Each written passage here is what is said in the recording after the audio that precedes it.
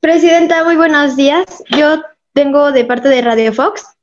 y pues tenemos una pregunta de todo el equipo que no sé, nos hemos enterado sobre este, así personas que hablan así y nos también nos preguntan a nosotros, pero nosotros no sabemos o qué decir, qué contestar. Que usted según ya tiene los lugares vendidos hay de la nueva construcción, pero pues del mercado que va usted a hacer. Pero queríamos saber si cuál es su opinión, por qué o qué piensan, por qué dicen eso. Ah, me encanta la pregunta, digo, este, es una, eh, de todas las que andan volando por ahí, te quiero decir, ¿no? Y claro que sí, no, Javier, no te va a tocar loca. Fíjate que eh, nosotros hasta este momento, eh, y te lo voy a decir con todas las palabras, tenemos el número de locales ya que incluyen en este proyecto.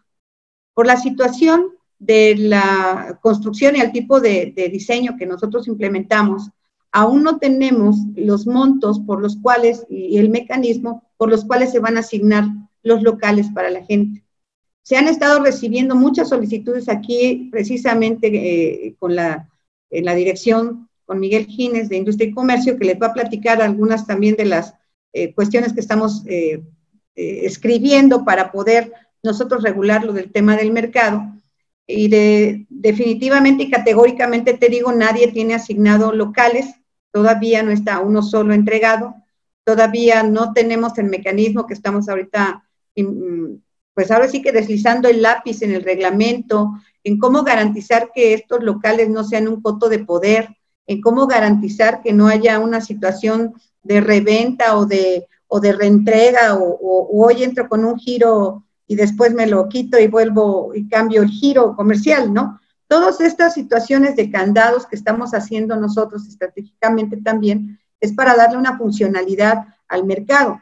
que queremos nosotros que no nada más porque sea un diseño este, innovador, también sea un mercado funcional a largo plazo, en donde muchos de los vicios que hemos visto también del uso de estos espacios, pues sea relegado. Tecamachalco va a tener por primera vez un mercado municipal, el mercado municipal Ayocuan, y, esto nos llena de orgullo, pero sobre todo debemos de blindar cómo va a operar este, este mercado. Por lo tanto, hasta este momento, este, te agradezco mucho la pregunta, no tenemos asignado un solo local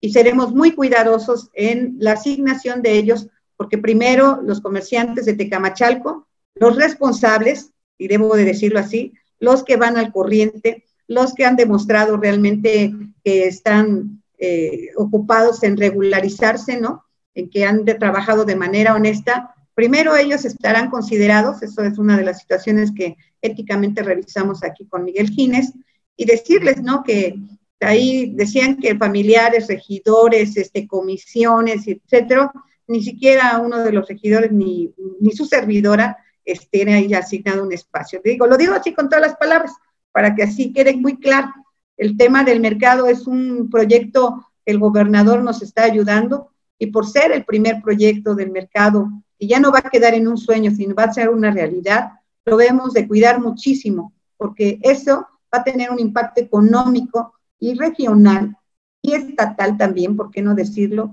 de nuestro Tecamachalco.